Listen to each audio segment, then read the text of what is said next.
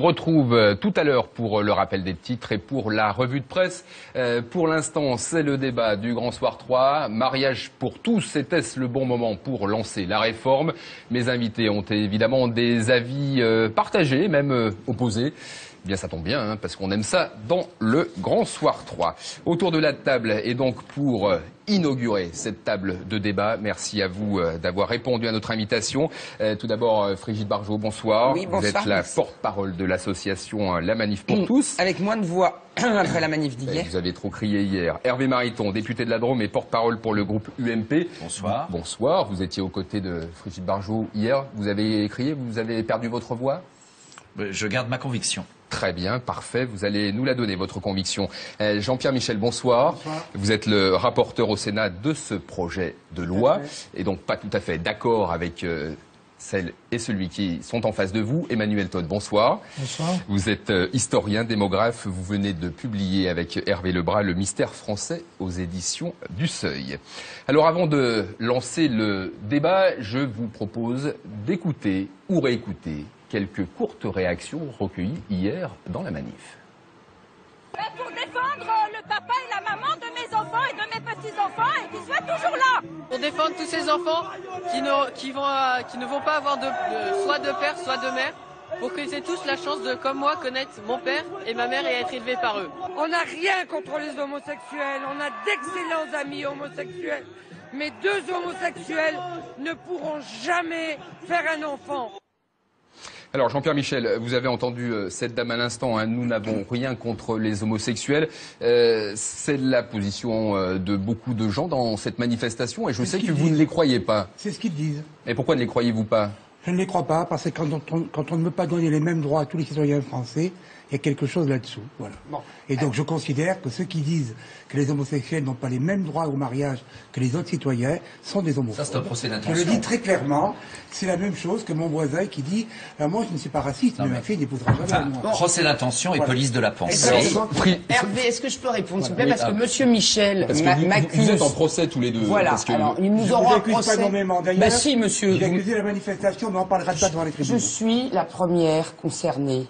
Or, je suis celle qui est, venue avec des homosexuels. C'est pas j'ai des amis quelque part très loin. Nous vivons ensemble, cher monsieur Michel, et c'est pour cela que vous ne pouvez certainement pas me traiter moi, la fille APD que je suis, d'homophobe. Première chose. Écoutez, Deuxième là, chose. Je ne sais pas si M. Mariton Deuxième euh, suit chose, une fille attendez. APD dans Bon, ces écoutez- manifestations. On apprend à l'apprendre de Monsieur tout. C'est une grande première pour France. Pour Eh ben oui, et oui. On- Alors si vous préférez. Pour le grand gay soir, c'est friendly, une grande vous, soirée. vous préférez gay friendly, eh ben on va dire gay friendly. Voilà, si c'est très sérieux. sur les droits. Monsieur, en ouvrant les droits au mariage, vous ouvrez les droits à la procréation.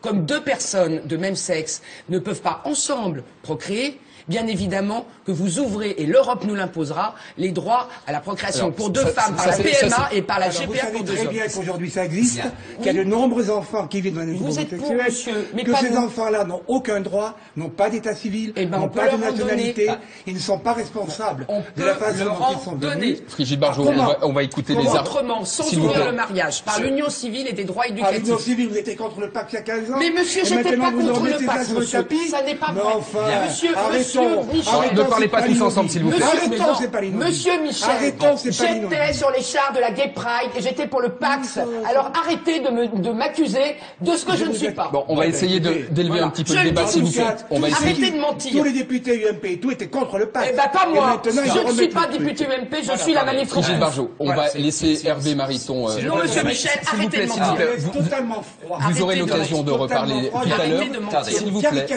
S'il vous plaît. Si, si. Monsieur Michel. Si je peux. Hervé le débat n'est pas euh, celui euh, du Pax. Monsieur Michel, vous êtes aimable de ne pas faire la police de la pensée et de ne pas supputer euh, que les uns seraient, parce que vous l'auriez décidé homophobe, vous n'avez pas le droit de décider J'ai le droit de dire ce que je En pense. avez vous le avez fait droit. le Et je pour qu'il n'y ait pas de mariage et maintenant on est je au mariage. Si je peux Et quand vous avez fait le Pax, vous avez dit Bien. on fait le Pax pour qu'il n'y ait pas de mariage. Vous avez menti il y a dix ans. Voilà. Alors, en tout cas, d'une part, euh, il n'y a... Pas vous qui me confesserez, Euh, Monsieur. Michel, je crois que même les partisans, même les partisans du projet Taubira ont reconnu que dans le débat à l'Assemblée nationale, et reconnaissez-le aussi, il n'y a eu de la part des adversaires du projet, pour l'essentiel le groupe UMP et le groupe UDI, il n'y a eu aucune homophobie, premièrement. Deuxièmement, le principal reproche, la plupart des observateurs ont dit cela. Eh bien, vous les avez lus à votre manière. Vous pourriez développer un peu et être un peu plus nuancé dans euh, vos certitudes absolues. Le deuxième point, c'est que le reproche que nous vous avons fait, c'est euh, face à des situations qui objectivement sont différentes. Un couple d'un homme et d'une femme, un couple de deux hommes, un couple de deux femmes, ça n'est pas la même chose. C'est de vous euh, révéler incapable de faire ce que normalement des responsables politiques doivent être capables de faire, c'est-à-dire d'inventer. Euh, on ne duplique pas, on ne réplique pas des situations qui ne sont pas les mêmes.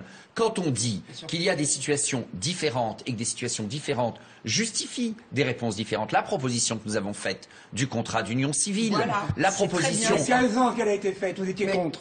non, monsieur. Comment bah, non, monsieur. comment Vous ne. bah, euh. Sortez-moi des déclarations dans lesquelles j'aurais dit Bon, que j'étais on- contre. on va pas revenir sur vos déclarations Ah non, des années Je veux précédentes. simplement dire. Je veux simplement dire que quand on a. Non, mais attendez. Moi, j'aimerais. De- Ce sujet est un sujet important Très sur grave, lequel je crois très que l'on doit avoir des positions plus grave. attentives à ce que les uns et les Et autres disent. Ce que On je peut re- trouver un si je accord. peux, Oui, pardon. Merci. Ce que je regrette de la part de Jean-Pierre Michel, c'est qu'il y ait euh, une telle euh, arrogance, excusez-moi de le dire, à l'égard des positions que d'autres peuvent avoir. Je on reconnais a- simplement un point positif dans l'attitude du rapporteur de la commission des lois du Sénat, je vous en rends acte, c'est que vos critiques à l'encontre du travail de l'Assemblée nationale, et en particulier de toute la fiction juridique que euh, le rapporteur socialiste aussi a construit à l'Assemblée, vos critiques sont cinglantes. Vous dites, au fond, vous pensez la même chose sur le fond, mais vous avez au moins l'honnêteté intellectuelle et la technique juridique de reconnaître que le texte construit par le gouvernement et la majorité socialiste à l'Assemblée ne tenait même pas debout, Eh bien, quand bien je même vous poursuivez le même dire que le objectif. texte du Sénat sera Alors, un excellent texte. un Attendez, et les temps. Laissez répondre, Monsieur Voilà. Michel. Un instant, et je donne la parole à Emmanuel Todd. Voilà. Votre Non, réponse. mais ma réponse, c'est qu'aujourd'hui, on nous resserre l'union civile, le contrat d'union civile. Il y a 15 ans, les mêmes qui le ressortent aujourd'hui étaient contre au Sénat. aujourd'hui les mêmes étaient contre. Alors, pendant 10 ans, pendant 15 ans, la droite n'a rien fait pour améliorer ce Bon, statut. écoutez, moi, je s'appelle parle pas de ça, le je parle des Rien. gens, du peuple. Je ne vous parle pas à vous, madame. Je parle en général moi, des je parle au parlementaires nom des et, autres. du- et des hommes politiques. Et si c'est la bonne Ok, solution alors, aujourd'hui, il faut le, le faire. président Sarkozy avait dit je suis pour, on verra, etc. Interview dans tes Il l'a pas fait, il a eu absolument tort. rien fait. Et il a Ah, eu tort. Ben, Alors, Aujourd'hui, c'est une loi d'égalité. Tous les citoyens français, quel que soit leur sexe, ont droit à l'égalité Oui, et au eh ben, mariage. les enfants, J'aimerais droit à s'il vous plaît, l'égalité j'aimerais, des s'il vous plaît parents. avoir l'avis tout. Les enfants d'Emmanuel parents. s'il vous plaît. Emma- euh, Emmanuel Todd, est-ce que alors bon, je vous vois très stoïque, s'il vous plaît. Euh, Est-ce que ce à quoi on a assisté hier dans la rue, c'est une reprise en main du politique, c'est euh, une action euh, citoyenne? Quelle- est votre analyse? je, je- je suis très embêté, je suis presque surpris d'être ici parce que j'ai une vision très peu passionnelle de ces choses. C'est très sérieux. Hein. Je suis anthropologue et le mariage, euh, c'est dans les tréfonds de la société. euh, C'est pour ça que nous vous avons invité dans voilà. votre livre Mais- un chapitre voilà. entier consacré Voilà. À la donc, famille. Donc, euh, avec mon ami Hervé Lebras, on, on sort d'un livre dans lequel on, on étudie euh, l'évolution des mœurs, qu'on prend très au sérieux, presque plus au sérieux que l'économie. On étudie la, je dirais, la, la distribution dans l'espace euh, des évolutions en fonction des régions, euh, de tradition catholique, de tradition laïque.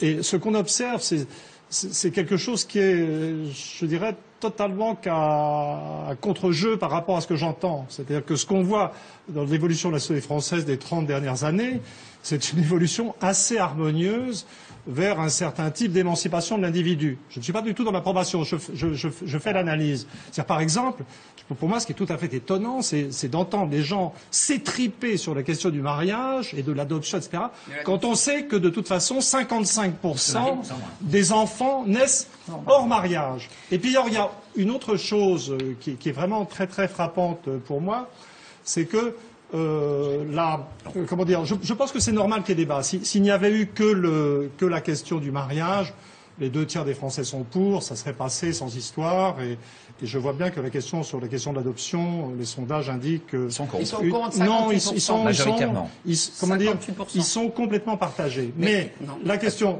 je, je termine, je- j'essaie de dire ce que l'histoire, l'anthropologie et, et la sociologie de la religion peut apporter. Euh, je veux dire, ce qui est certain, c'est que le, le, clivage qui s'est établi là n'est pas un clivage de type habituel. C'est-à-dire, par exemple, je, je vois qu'il y a beaucoup de gens qui pensent que c'est la vieille morale catholique qui est derrière euh, la défense euh, du mariage, euh, pas pour tous. En Alors fait. quelles sont ces deux France qui s'opposent Et en fait, et en, et, et en fait, je veux dire, ça, ça n'est pas ça. Je veux dire, les régions, parmi les régions qui acceptent le mieux les enfants naturels, il y a beaucoup de régions catholiques, et on sent comment dire et, et, en vérité, maintenant, les bastions du Parti socialiste sont pratiquement en région catholique. Les, les, bastions de la droite sont, sont en zone laïque. D'ailleurs, vous, vous êtes euh, député de la Drôme, Oui. donc vous êtes au cœur du pays mécréant qui se contrefiche de la morale religieuse. Vous, vous êtes sénateur de la Haute-Saûne. Donc, dans la partie du pays. Et donc, et donc, il y a un truc à contre-jeu, et, et je pense que ça explique en partie euh, des phénomènes étranges de la manifestation d'hier. l'analyse. C'est-à-dire que la manifestation d'hier, pour quelqu'un qui est habitué à, à l'ordre et à la tradition catholique, est très très étrange par sa violence. C'est-à-dire, il y a- il y, a quelque chose, euh, comment dire, ça- une manifestation qui dégénère comme ça. Non. C'est, je veux dire, Elle n'a c'est pas très particulier. Ça n'est pas typique d'une, manifestation sur, sur, je dirais, sur la famille. Alors, il me vient l'idée, d'un côté, je, finis de donner mon avis, et puis ensuite vous pouvez rep- reprendre Oui, non, votre non. séance, euh, je dirais, je dirais euh, d'un côté, euh, je serais le premier à dire que c'est un problème tout à fait sérieux et qu'il y ait, il y a des raisons pour qu'il y ait débat. Mais d'un autre côté, il me semble que la violence, y compris dans l'affrontement là, c'est même pas la peine d'aller regarder la manifestation, Mais se faire traiter et- d'homophobe, et- c'est et- violent. et quelque chose, il y a, je sens, euh, ayant beaucoup travaillé avec mon copain Lebras sur les mœurs, euh, une évolution qui est, je dirais, plutôt harmonieuse, je trouve quelque chose d'artificiel et d'exagéré dans l'affrontement. Et je me demande si en fait, ce qui se passe un peu dans ces manifestations, c'est pas plutôt, euh, on, analyse aussi dans, le bouquin la, crise de la représentation politique, la crise de la droite et la crise de la gauche, mais plus, encore la crise de la droite. Et je me demande quand même si la droite, je parle, je ne parle pas en partisan, n'est pas en train de chercher dans ce problème, euh, je dirais, une sorte de ressourcement identitaire. Parce qu'elle est très, très. Il y a une chose qu'on reprochait. Attendez deux petites secondes, deux petites secondes. on parle de pol- Emmanuel, on- on vient de parler de politique. Pardon, on vient de parler de politique. Moi, j'aimerais vous donner la, la- droite. la réponse à la question. Ça va permettre d'avancer dans, dans- dans le débat, de ne pas tourner en rond. Euh, nous avons posé la question à nos téléspectateurs et aux internautes. J'en parlais tout à l'heure via notre site France TV Info.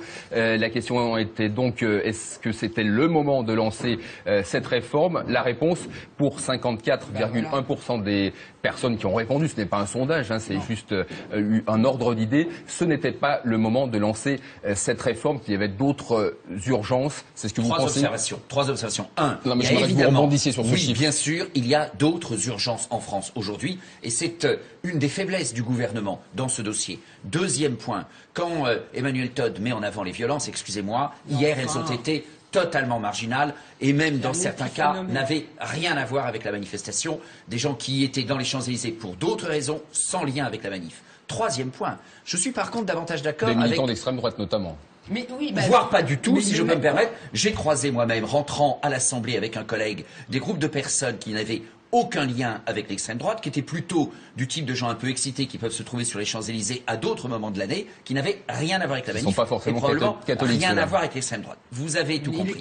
Mais sur le premier point d'Emmanuel Todd, je suis assez d'accord. Je pense en effet qu'on a quelque chose de plus compliqué, qui est sans doute le débat, ce qui avait été vu par le Parti socialiste dans sa campagne en 2012, qui est le- l'affrontement entre euh, les gens qui sont plus individualistes. Donc un Parti socialiste aujourd'hui, un gouvernement qui défend à fond une vision individualiste de la société, donc euh, euh, les droits individuels poussés au maximum, et une autre vision de la société qui est moins individualiste. Oui, Vous avez d'un côté une approche. Attendez, ouais. je peux une approche individualiste et matérialiste. Nous, c'est au fond euh, cette euh, euh, vision qui peut être partagée, quelles que soient les sensibilités ensemble. politiques, quelles que Ah, soient les origines, quels que soient les choix confessionnels, qui est bien celle de la famille comme cellule de base de la société.